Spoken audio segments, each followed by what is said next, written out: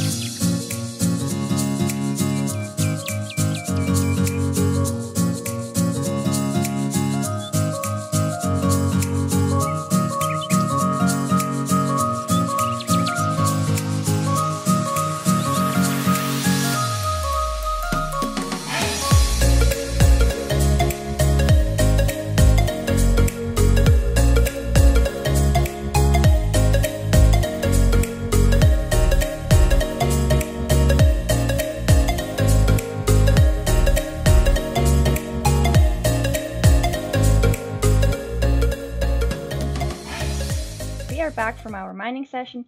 Let's see what we got. So we got plenty of iron and gold again. And in our treasure chest we have more diamonds now. These are still our first diamonds, which we will spend today actually. And here we have a notch apple, which we found in the spider spawner. We also got plenty of lapis and I had to compact the redstone because we've got so much.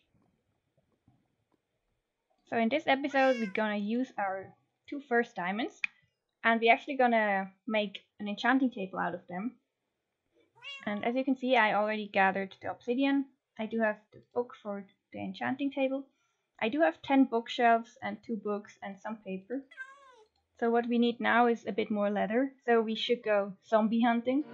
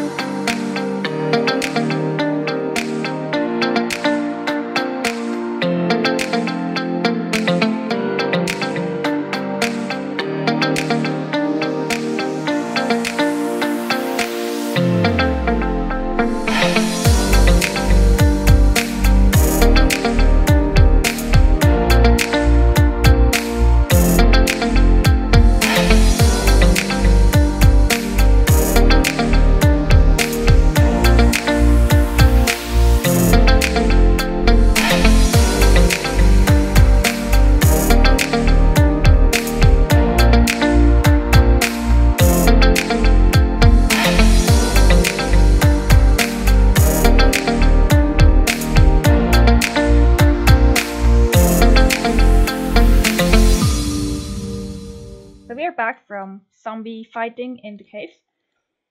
And we actually got quite a bit of rotten flesh because we found the zombie spawner, which also gave us this amazing book. It's efficiency 5, which is super lucky. And I managed to slay one enderman in a boat. But I actually managed to slay three of them, but only one dropped its lovely pearl. So let's smelt up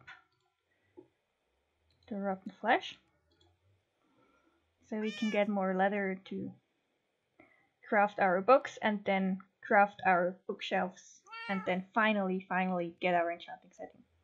So the rotten flesh finished up smelting into leather. So we're gonna convert those into books. I'm not quite sure how many I will need. Let's just hope we have enough.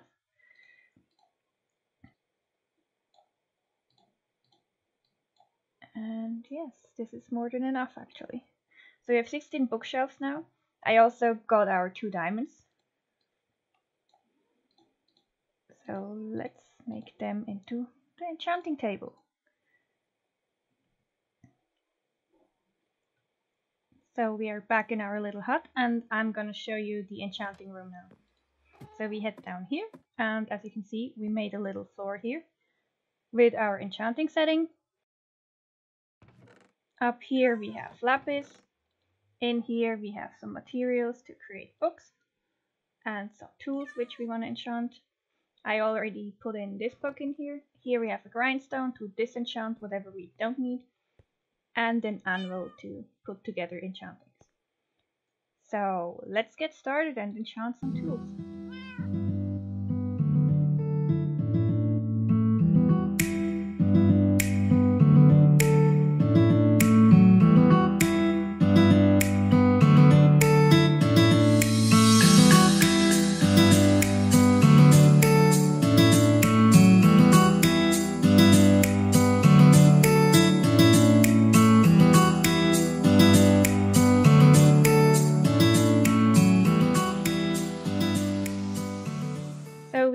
Some sort of decent enchantments on here. I was hoping for looting on this one. And maybe Silk Touch or Fortune on the pickaxe. But as it seems, we have to go hunt for some villagers. And hopefully they will give us some cool traits. So I actually did find another village, which is also super close. And now we're gonna head there. And it's actually over there on the hill. And it's super lucky that we got two villages so close.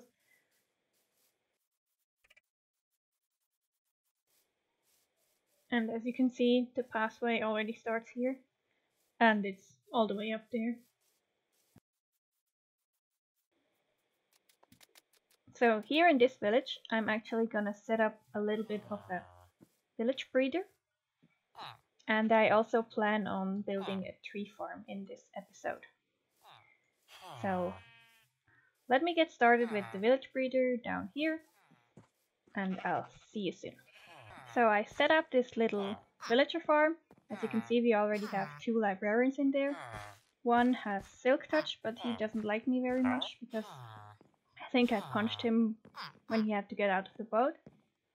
And the other one has ah, looting one. I'm not quite sure if I'm gonna keep that one or if I'm just gonna replace the lectern again.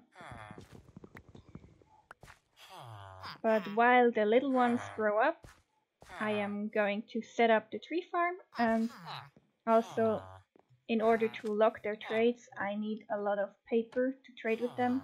So I set up this little, really little sugarcane farm and I hope while I set up the tree farm it will grow. So let's head over there. So let's head up here to the top of the village. There's a nice little platform, or I will make it into a platform. As you can see there's a lot of space and basically I'm gonna flatten it all out and then plant loads of different kinds of trees.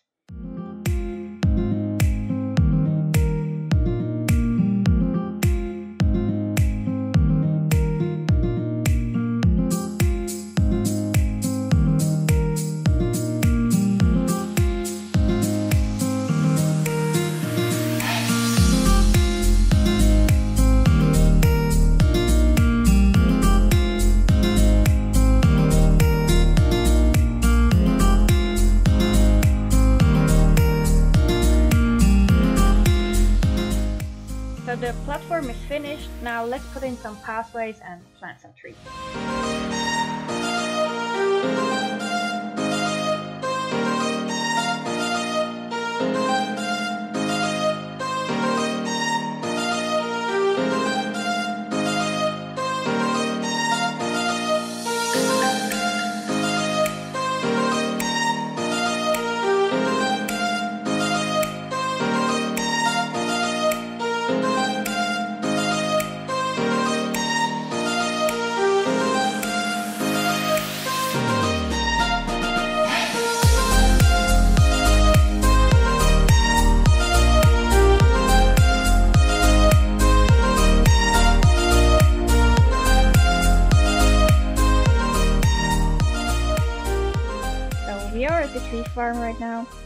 As you can see, most of the trees have grown.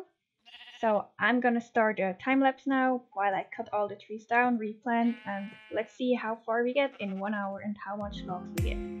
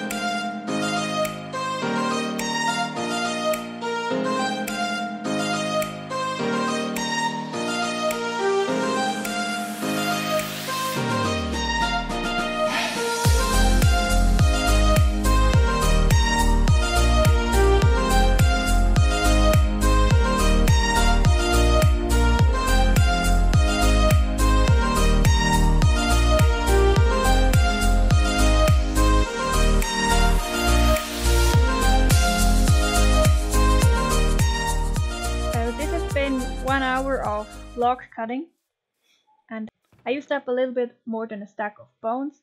I gained a lot of saplings and in here we have all the log we gained in just one hour.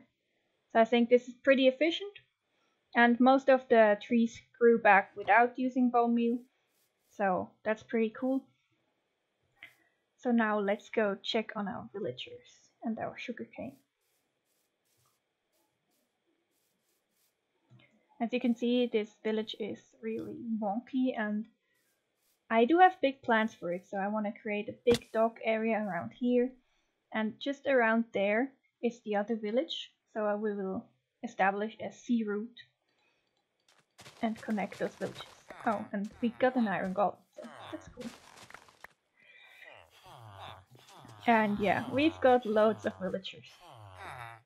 So let me give them a lectern and see what see what we get. You have flame. Need flame. You have mending. Oh, I need you. I need paper right away.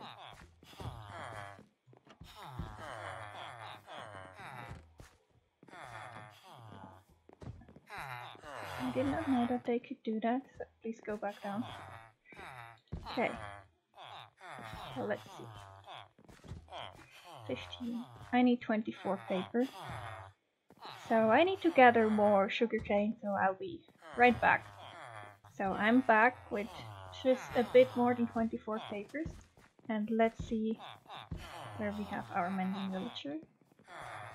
It's you. There we go. I think this is locking his trade now. So I managed to get my mending villager in a boat. Basically I put all villagers in boats. And well, I managed to get the mending villagers out. Sadly, he's down there now. So I think I'm gonna transfer him to the other village and let's see if we can find a safe place for him there. So, let's go.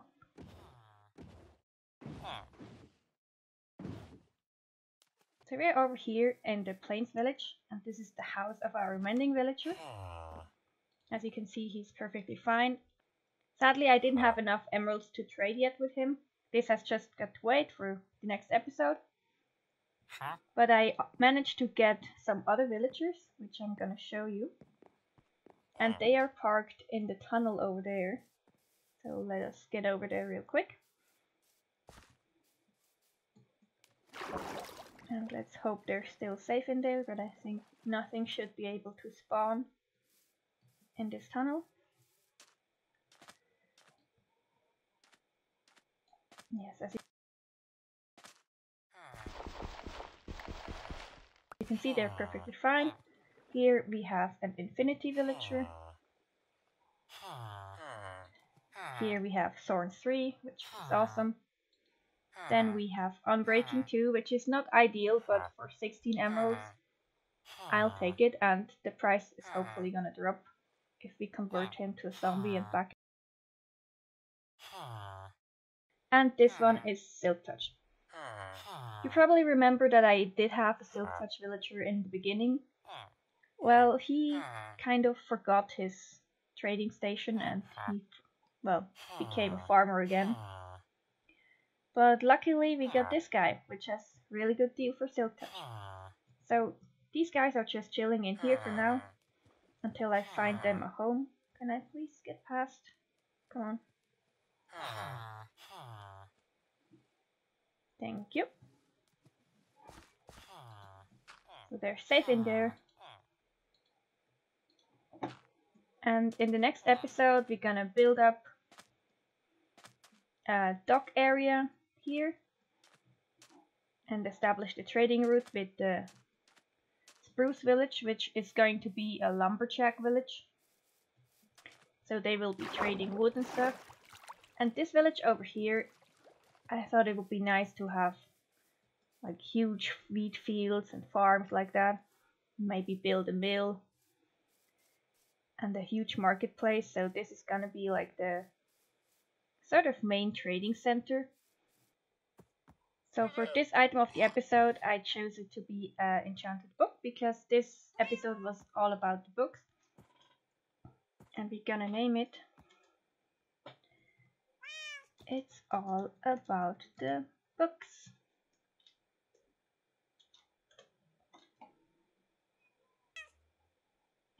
And